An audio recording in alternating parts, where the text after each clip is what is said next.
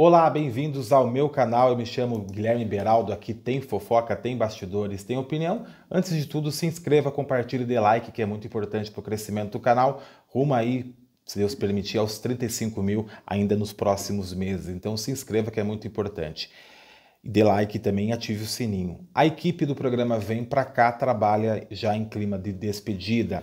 A produção do Vem Pra Cá, atração do SBT, trabalha em clima de despedida.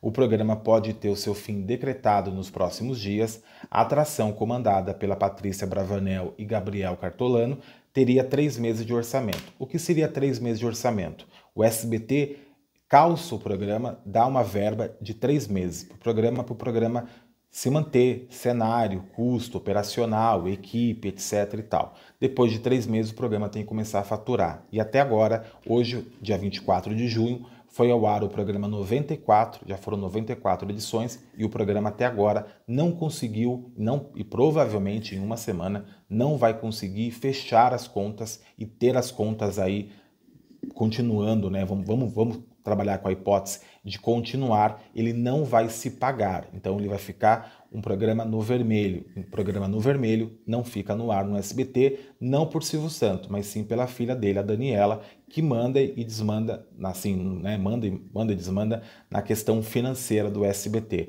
O Silvio Santos mexe na grade, ele muda tal, e isso aí ninguém consegue interferir. Mas quando pesa no bolso, na questão do dinheiro, a Daniela, ela interfere.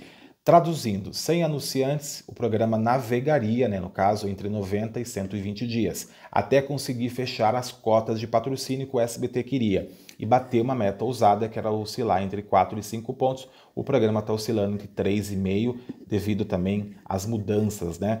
Os anunciantes não vieram em peso, o Ibope também muito menos para dar aquela mexida básica, que é o, que o Silvio Santos sempre faz. Ele já mudou o programa sete vezes desde que ele começou no dia 22 de março de 2021. Nesta quinta-feira, como eu mencionei, o programa foi ao ar número 94, o que dá 13 semanas no ar. O bolão de apostas é que o programa não chega até o mês de junho, finalzinho de junho. Semana que vem, na verdade, né? Se chegar a julho, será um milagre. A paciência do Silvio Santos está perto de chegar ao fim, se é que já não chegou. A paciência, no caso, de tirar o programa do ar. O programa não dá um retorno comercial e até agora, com três meses no ar, ele não conseguiu ainda, vamos dizer assim, brilhar os olhos dos anunciantes. Sem anunciantes, sem audiência, sem faturamento, o Vem Pra Cá roda da grade de programação. Se inscreva, compartilhe e dê like, que é muito importante para o crescimento do canal. Segue nas redes sociais, arroba Beraldo TV no Instagram e Beraldo TV no Twitter. O site aqui tem fofoca.com.br. Eu fico por aqui, até a próxima.